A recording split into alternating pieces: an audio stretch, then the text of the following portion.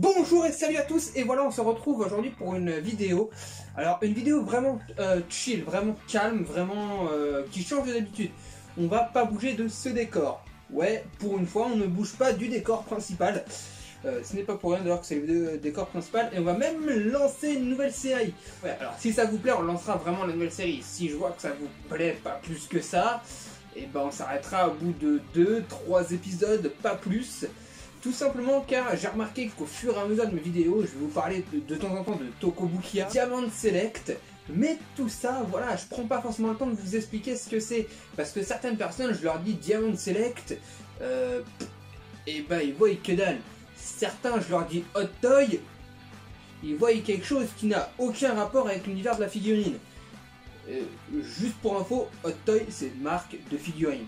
D'ailleurs, tous les autres noms euh, que je vais citer, ce sont des marques de figurines. Donc nous avons euh, Galerie, Diamond Select, euh, Funko Pop, Funko Ville, Funko Rock Candy, Marvel Legend, DC Legend, Galerie, je crois que je l'ai déjà dit, Eaglemus, Eaglemus en plomb, donc Eaglemus en plomb, c'est aussi Eaglemus 2007.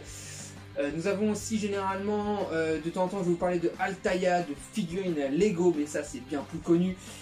Nous avons aussi tout simplement euh, du Tokobukia aussi de temps en temps que je vous parle, du figurine Maflex, du figurine SH Figarts, du euh, figurine euh, Kai Arts. Alors tout ça, tout ce que j'ai cité, c'est des noms de figurines. c'est vraiment des gammes ultra différentes hein, du, jour et la nuit. Par exemple, la petite figurine Lego qui peut potentiellement coûter toute seule au jour d'aujourd'hui 3 balles et la figurine Hot Toy qui peut aujourd'hui coûter 3000 balles. Ah Une Hot Toy peut coûter entre 300 balles et, et 3000 balles facilement. 3000 balles c'est peut-être un peu abusé mais bon vous avez compris l'idée c'est que ça coûte extrêmement cher. Et aujourd'hui on est là pas pour vous parler de Hot Toy, ni de Lego, ni d'Eaglemus malheureusement même si Eaglemus est ma marque de figurine préférée mais d'une marque de figurine que depuis peu ça vient de sur la chaîne.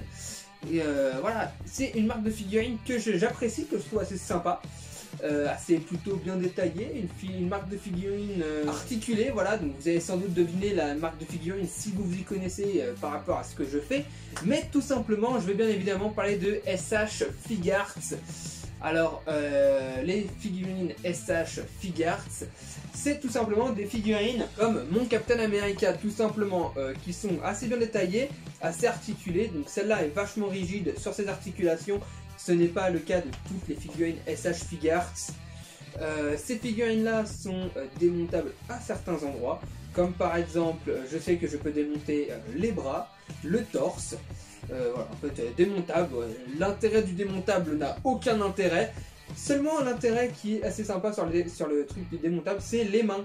Parce qu'en fait, euh, ces fameuses mains, voilà, que vous allez voir euh, juste à côté là de moi, ces fameuses mains en fait peuvent tout simplement se démonter et se remonter pour euh, être associées à, à d'autres mains. Voilà, tout un point de cette fameuse marque, c'est tout simplement les couleurs. Alors les couleurs sont assez réalistes, assez sympas.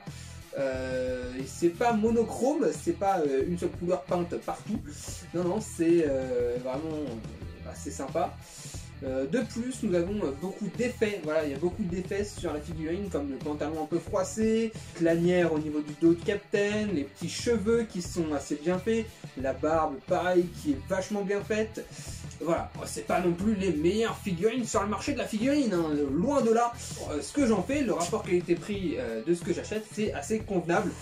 évidemment, je vais pas vous parler énormément de Captain America, ou voilà, enfin si je pourrais vous parler énormément de Captain America, des défauts, des qualités, voilà.